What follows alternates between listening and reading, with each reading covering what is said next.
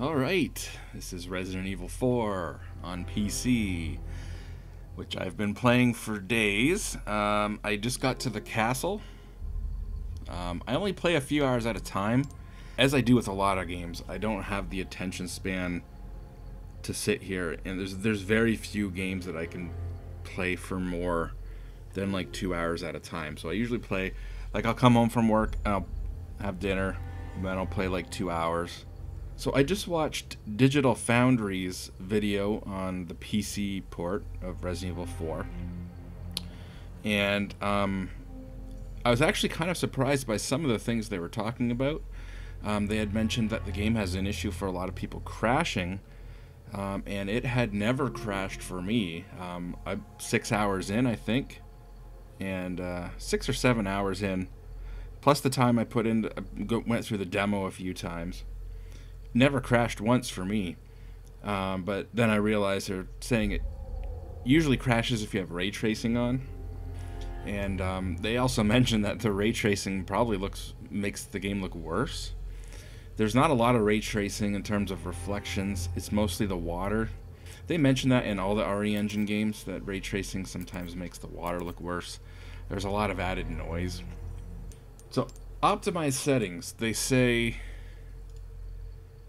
uh, let's just like scroll all the way down to the bottom. Um, uh, for some reason, we'll start at the bottom. Um, but they said turn hair strands off. Okay, well it is by default.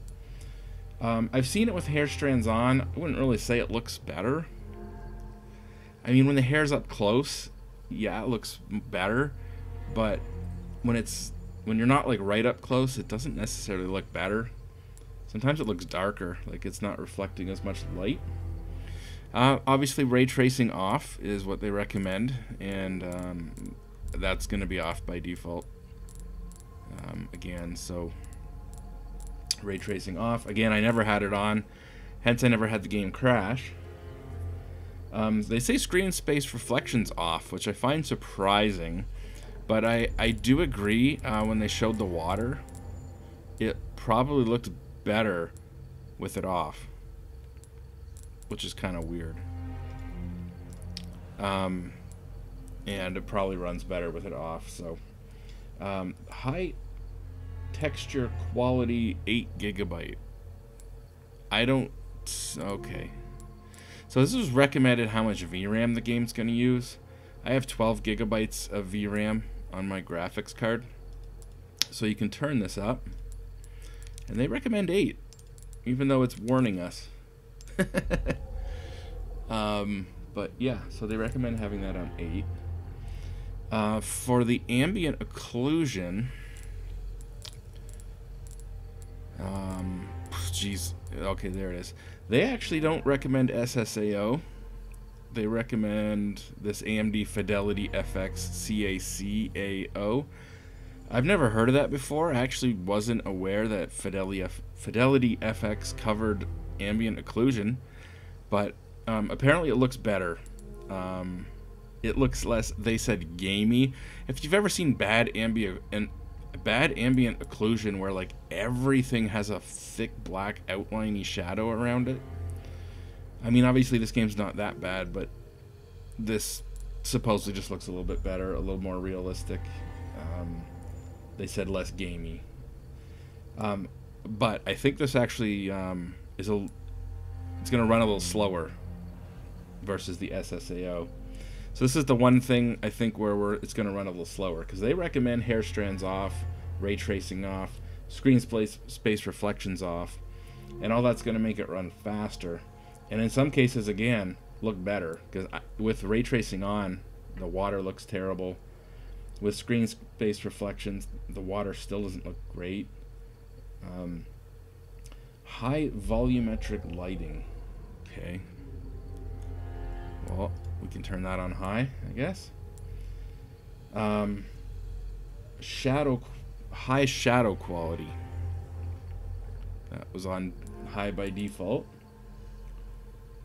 And shadow cache on. Okay, that's on by default. Think they said it runs a little better if you have that on. I believe. I believe that's what they said. Alright, So let's go back um, and start a new game. In this game, I think, so, well, sorry, this isn't really relevant to the game. um, I was going to say in this game, I think when you, if you're recording in the menus and then you start a new game, once it loads into the 3D engine, we might not be recording right now, so I'm just going to double check again, make sure we're still recording. And I don't have the frame counter on. Shit. Okay, well, I gotta exit the game. Alright, so we're back in the game. Um, so yeah, we're at 112 frames per second. And um, before it was 109. Um, when I played through the demo, it was 109 in these outdoor parts, almost like most of the time.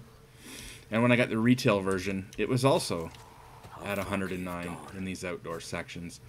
Uh, and the reason I mention that is because um, a lot of people said the retail game ran better than the demo.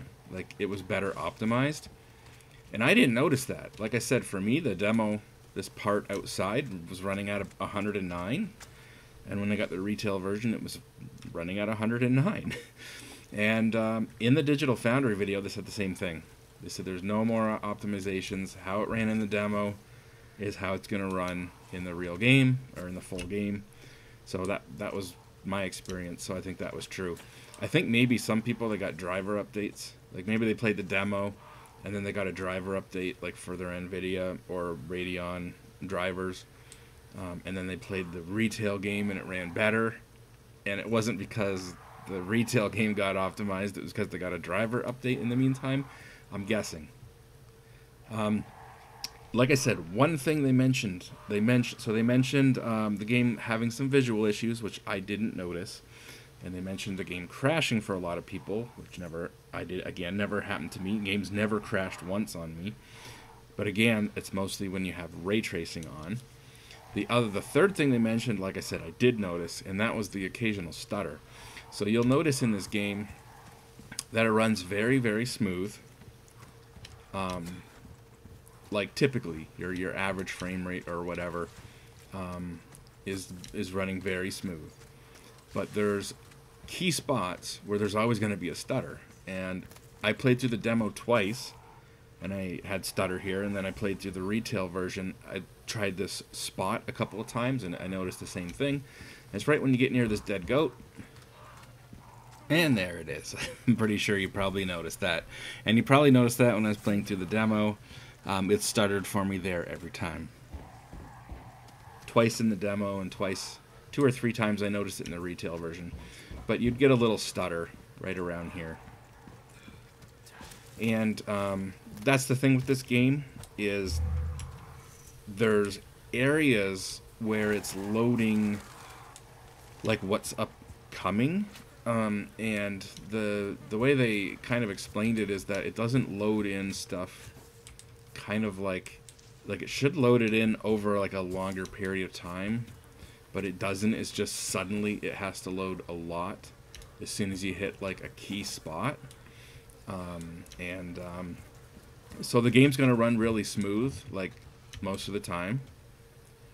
But every like once in a while you're gonna get a stutter and you're probably gonna get that stutter in the same spot.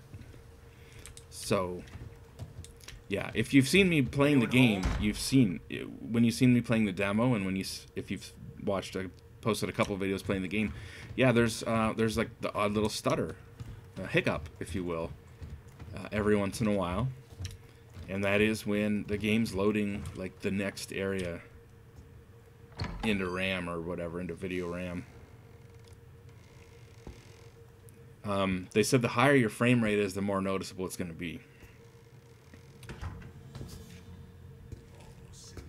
Um, so yeah, so supposedly with these optimized settings, um, well, it is. It is running a little bit um, faster.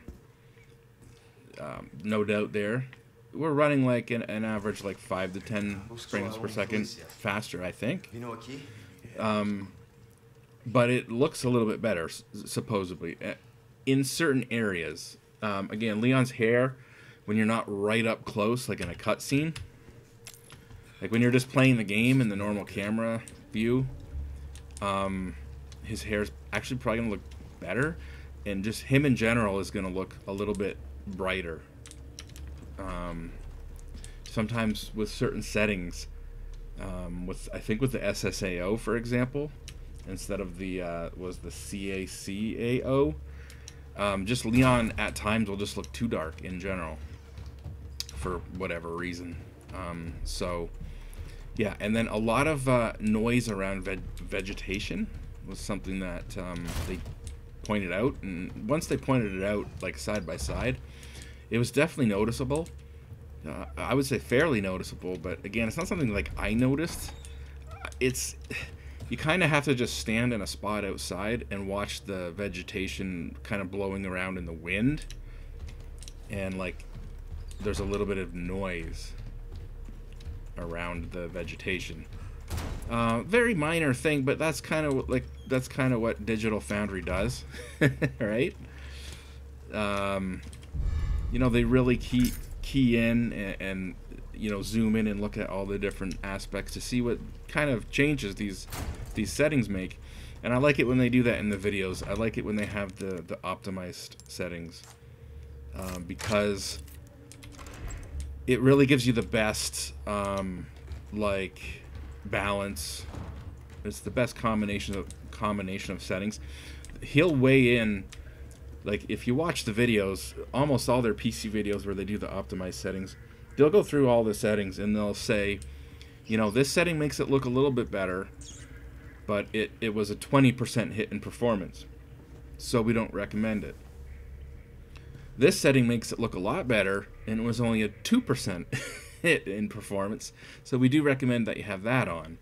And they go through all the settings, and his optimized settings, uh, in this case it was Alex, he does a lot of the, the PC stuff for DF Retro.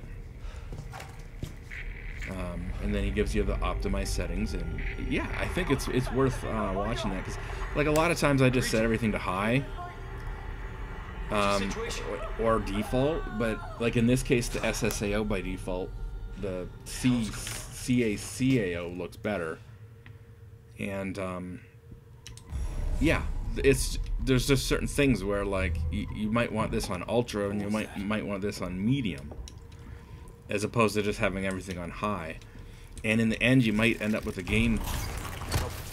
you might end up with a game that looks slightly better and runs slightly better. So it's kind of it's kind of worth doing. Um, so I, I, just thought we'd take a look at that. Um, uh, again, I never had any issues with the game crashing, but apparently that's mostly if you have the ray tracing on, and I think it was like something to do with the shadow cache, maybe a combination of things there.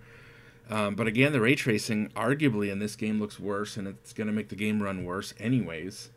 So if it's going to make the game run worse, possibly look worse, and possibly crash, it's like, forget about ray tracing. And I usually do anyways, but um, hence I never had the game crash. So, yeah, that's uh, that's it. Optimized settings for Resident Evil 4 on PC.